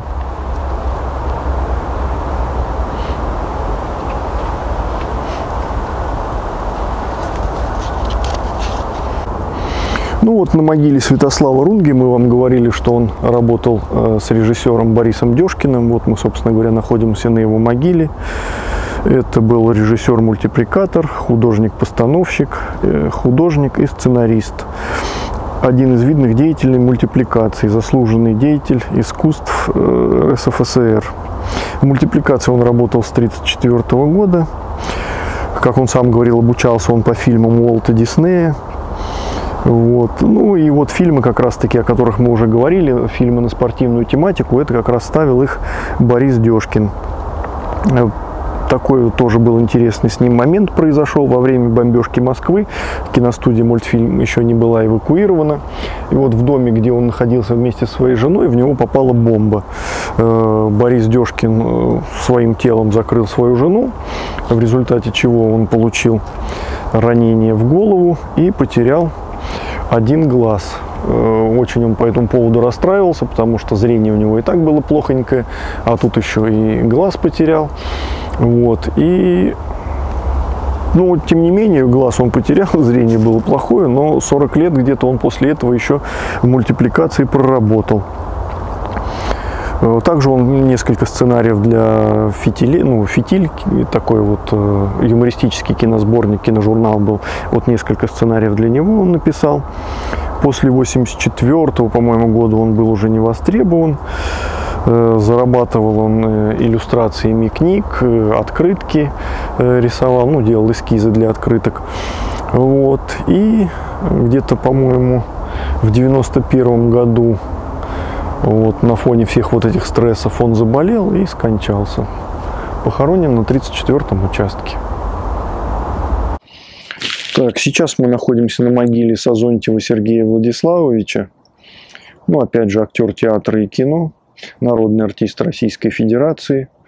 Э, работал он в театрах «Современник», в театре имени Ермоловой, э, в театре имени Маяковского, потом в МХТ имени Чехова. Снимался он в таких фильмах, как «Пропавшая экспедиция», «Золотая речка», «Россия молодая», «Залив счастья».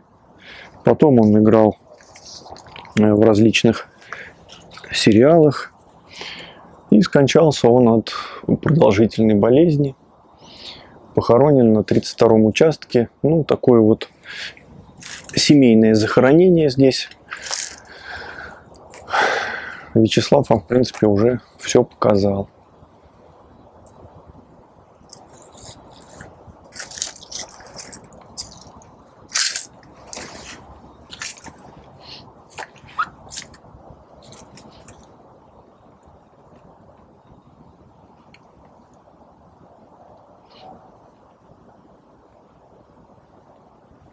И вот тут фонарик как раз на могилке, свечечку мы зажгли.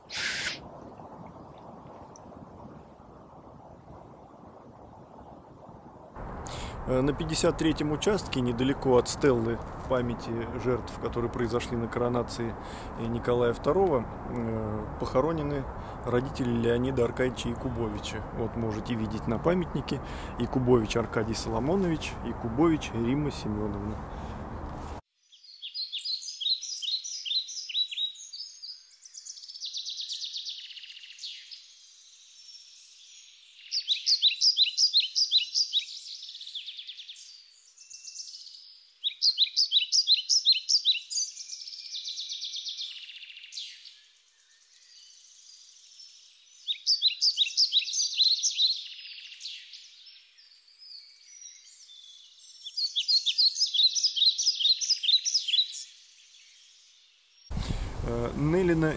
Алексеевна. Это была советская оперная певица.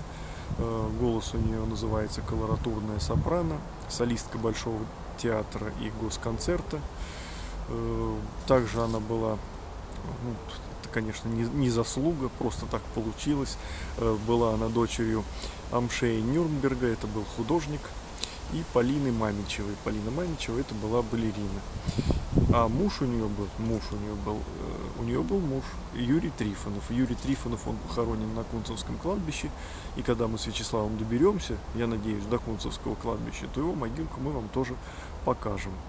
Умерла она э, скоропостижно, скоропостижно скончалась на курорте. Была она на курорте где-то в Литве. И там, э, предположительно, от инфаркта умерла.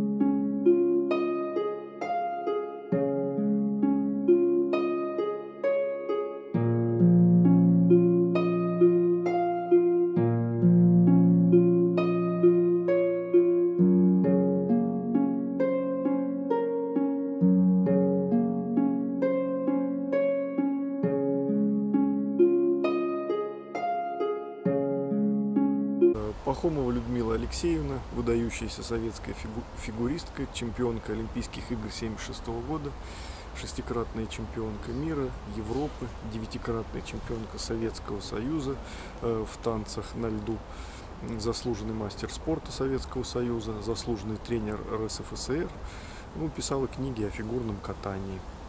Э, тут же вот с ней вместе похоронен ее отец. Отец у нее Пахомов Алексей Константинович, участник советско-финской и Великой Отечественной войн, генерал-майор авиации, герой Советского Союза. После войны работал летчиком-испытателем.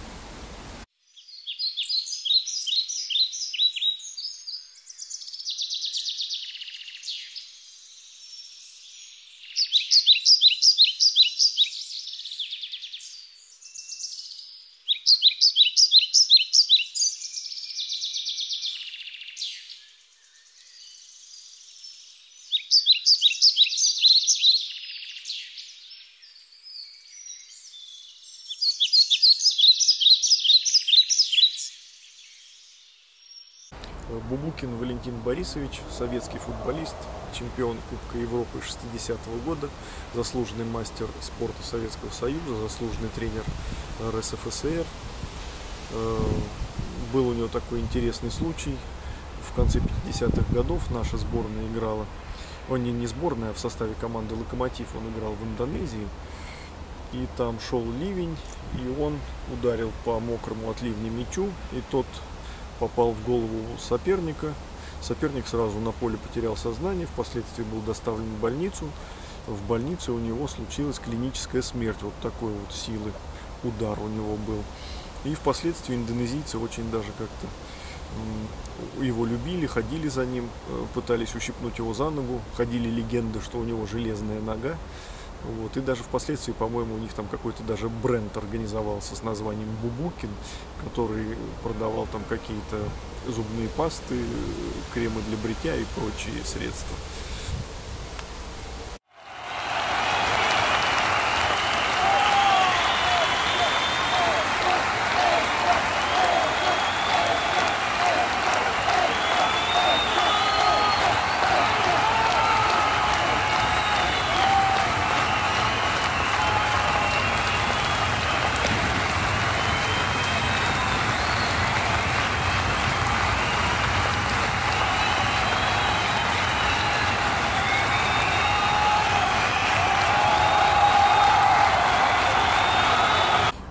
Каратаев Олег Георгиевич, выдающийся советский боксер, мастер спорта Советского Союза международного класса, э, трехкратный чемпион Советского Союза, э, призер чемпионата Европы 73 года и чемпионата мира 74 года.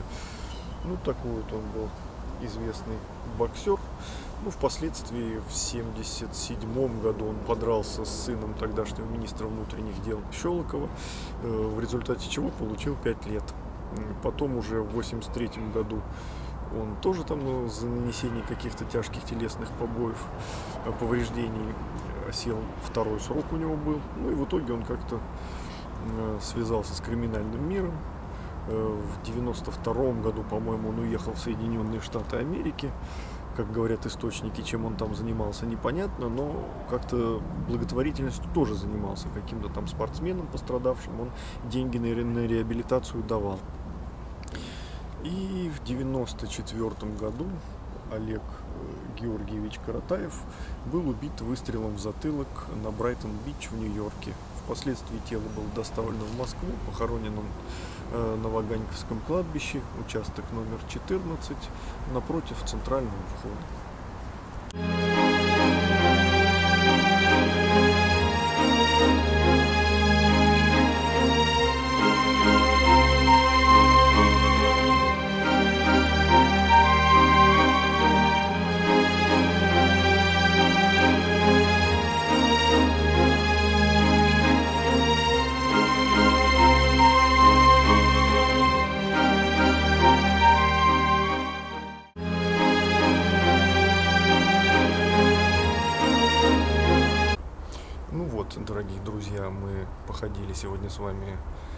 Последний раз, наверное, по Ваганьковскому кладбищу.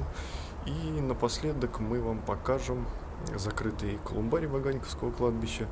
Здесь э, в ячейках хранится прах некоторых известных артистов. Вот, собственно говоря, их мы вам сейчас и покажем. Как гласит табличка, русский актер Соловьев Александр Иванович. Ну, это действительно был актер. Э, сним, снимался он в таких фильмах, как «Ребенок к ноябрю», «Адам женится на Еве». Наибольшую популярность ему принесла роль вора-красавчика в фильме «Зеленый фургон». Также играл он в театре Владимира Маяковского, э, в театре, в Центральном детском театре. Умер при невыясненных обстоятельствах. Тело его было обнаружено на улице с черепно-мозговой травмой. Потом его не сразу опознали, недели две, наверное, он лежал в морге. Потом тело опознали, тело было кремировано, и вот тут в этой ячейке прах покоится.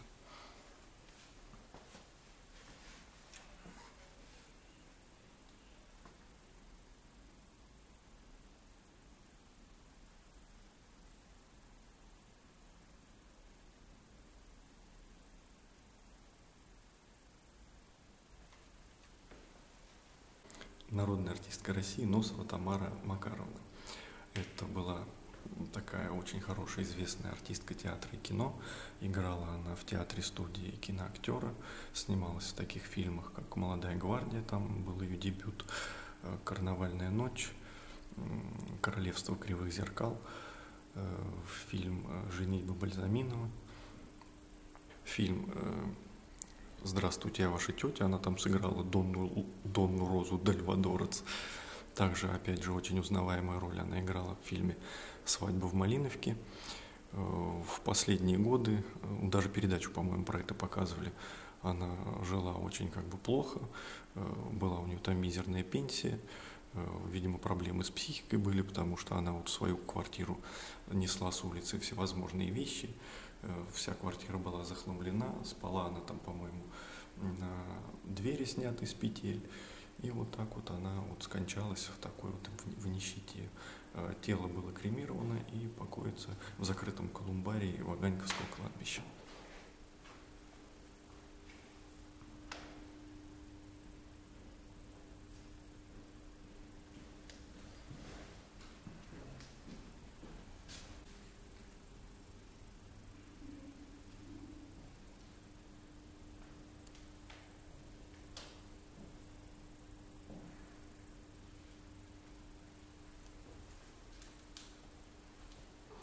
Также в одной из колумбарных ячеек, э, просто мы нигде не нашли в какой именно секции, поэтому мы вам ее не покажем, покоится прах одного из мужей э, Тамары Носовой. Это был Губрев Виталий Георгиевич, детский писатель. Сотрудничал он с различными детскими журналами. Э, был одним из авторов легенды о Павлике Морозове. Ну, он как, как журналист освещал эту историю, ну и, соответственно, принимал участие вот в раскрутке этого, э, этого события, так сказать. Вот. Кроме того, он написал очень известную сказку «Королевство кривых зеркал». Собственно говоря, эту сказку он посвятил своей жене на тот момент Тамаре Носовой. И если помните в фильме, как мы уже говорили, она снималась в фильме «Королевство кривых зеркал», а, ну, она тоже там снималась, потому что все, муж был автор произведения, видимо, он там один из авторов сценария был, ну и, собственно говоря, сказал, что вот надо снять мою супругу в фильме, и что и было сделано. Умер он от инфаркта миокарда. Алтайская Вера Владимировна, это тоже была такая актриса, э, в основном она прославилась тем, что исполняла в основном отрицательные роли в фильмах, сказках. Э, снималась она в таких фильмах, как «Мария искусница», там у нее была роль тетушки Непогодушки. Э, в фильме «Королевство кривых зеркал» она сыграла Асырк, помните тоже. В фильме «Морозко» она сыграла мачеху. Э, в фильме «Варвара краса. Длинная коса» она сыграла старушку из пенька. Ну и там в различных еще снималась она в бытовых комедиях. Вот. И умерла она 28 декабря 1978 года, и тоже прах ее покоится в закрытом колумбарии на Ваганьковском кладбище.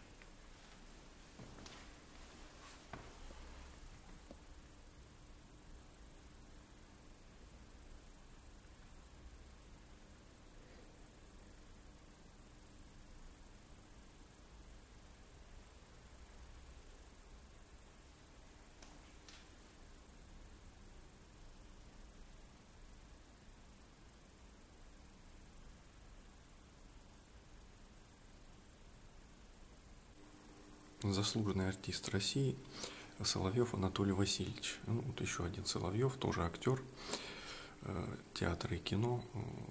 Это был один из немногих артистов в Советском Союзе, которому было разрешено сниматься за границей. Ну, конечно же, в странах соцлагеря. Э, в частности, даже в ГДР э, выходили открытки с его изображением. То есть такой вот он был популярный артист достаточно. Дебютировал он в кино в роли 17, в возрасте 17 лет. Снялся он в фильме «Девушка с характером». Потом в сороковом году, по-моему, снялся в фильме «Суворов». Э, потом в фильме «Цветок на камне», по-моему, он сыграл Петра Первого. Ну и дальше были такие фильмы, как «Угрюм река», «Фронт без флангов», «72 градуса ниже нуля», «Фронт за линией фронта», «Слезы капали» тоже очень был такой известный, хороший фильм. И, по-моему, последняя роль или одна из последних ролей была в фильме «Сочинение ко Дню Победы». Но это, в частности, была, был последний фильм, в котором снялся Олег Ефремов. Вот также он озвучивал фильмы и мультипликационные фильмы тоже.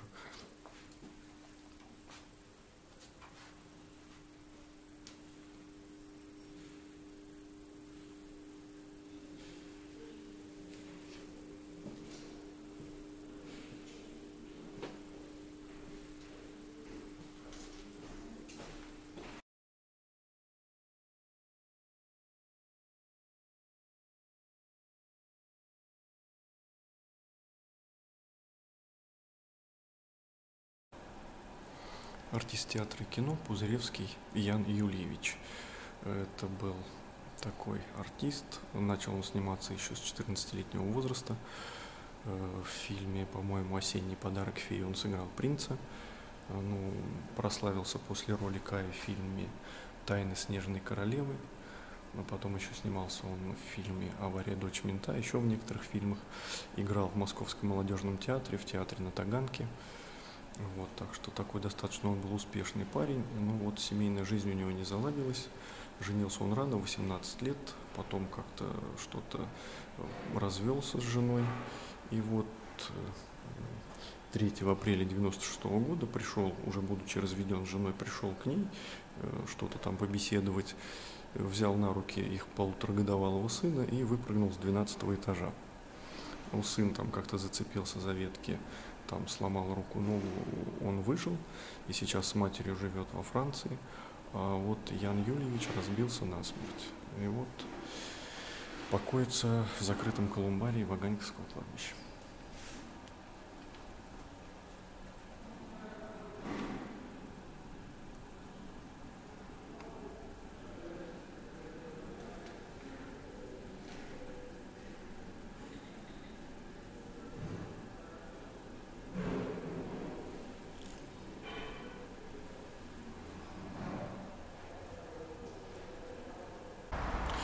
Ну вот, собственно говоря, дорогие друзья, наше путешествие по Ваганьковскому кладбищу заканчивается. Для вас оно растянулось на четыре части. Но это я не беру во внимание те э, сюжеты, которые были еще до того сняты. Э, просто, который назывался Ваганьковское кладбище, обзорная экскурсия. Также на могиле Сергея Есенина мы снимали сюжет, у нас был такой. Вот, вот этот вот цикл из четырех серий. Вот. Для нас это путешествие растянулось, э, ну, с, уч с учетом всех вот этих подготовительных периодов, то, что мы тут ходили, искали могилы, потом все это приходили, снимали, это на несколько суток, наверное, несколько суток, если по часам перевести, то несколько суток мы провели на Ваганьковском кладбище. Ну, что вам сказать, что сделали мы, то сделали, смотрите, комментируйте, а мы, наверное, с Ваганьковским кладбищем уже прощаемся. Будут какие-то другие походы на другие кладбища. Следите за новостями канала, все это вы сможете увидеть. Ну, что еще сказать. Покойный пусть покоится. Всем живым здоровья и долгих лет жизни. До свидания.